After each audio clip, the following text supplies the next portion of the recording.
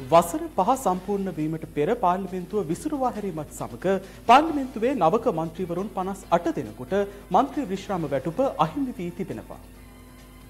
පාර්ලිමේන්තු මන්ත්‍රීවරයෙකු විශ්‍රාම වැටුපකට සුදුසුකම් ලබන්නේ වසර පහක කාලයක් පාර්ලිමේන්තු මන්ත්‍රී දුහුරෙහි කටයුතු කිරීමත් සමගයි. නමුත් දෙදහස් පහළෝ වසරේ අගෝස්තු මස දහහත් වනදා පැවති අවසන් මහමැතිවරණයෙන් තේරීපත් වූ වත්මන් පාර්ලිමේන්තුවට මේ වන විට ගත වී ඇත්තේ වසර තුනකුත් මාස දෙකක පමණ කාලයක්. ඒ හේතුවෙන් දහස් පහළුව මැතිවරණයෙන් තේරීපත් වූ නවක මන්ත්‍රීවරුන් පනස් අට දෙනෙකුට විශ්‍රාම වැටුප් ලැබීමේ හිමිකම අහිමි වී තිබෙනවා. ඒ අතරින් මන්ත්‍රීවරුන් තිස් හතර දෙනෙකු නියෝජනය කරන්නේ එක්සත් ජාතික පක්ෂයයි.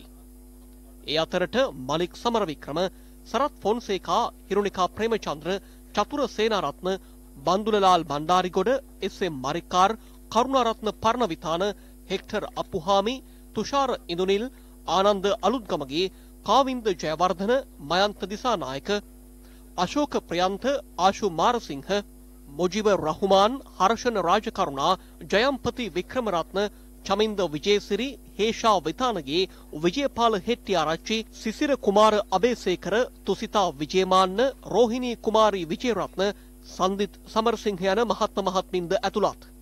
පාර්ලිමේන්තුව විසුරුවා හැරීමත් සමග මන්ත්‍රී විශ්‍රාම වැටුප අහිමි වන එක්සත් ජනතා නිදහස් සඳහන මන්ත්‍රීවරුන් සංඛ්‍යාව දහහතක්. ඒ අතරට ඩීවී චානක ප්‍රසන්න රණතුංග ප්‍රසන්න රණවීර සිසිර ජයකොඩි කංචන විජේසේකර අනුරාධ ජයරත්න පියල් නිශාන්ත සනත් නිශාන්ත තාරානාත් බස්නායක ඉන්දික අනුරුද්ධ නිරෝෂන් ප්‍රේමරත්න යන මහත්වරුන් ඇතුළත්. මෙයිට අමතරව ජනතා විමුක්ති පෙරමුණේ පාර්ලිමේන්තු මන්ත්‍රී වෛද්‍ය නලින්ද ජයතිස්ස මහතා සහ දෙමළ ජාතික සඳහනේ මන්ත්‍රීවරුන් හය දෙනෙකුද පාර්ලිමේන්තු විශ්‍රාම වැටුප අහිමිවන මන්ත්‍රී කණ්ඩායමට ඇතුළත්.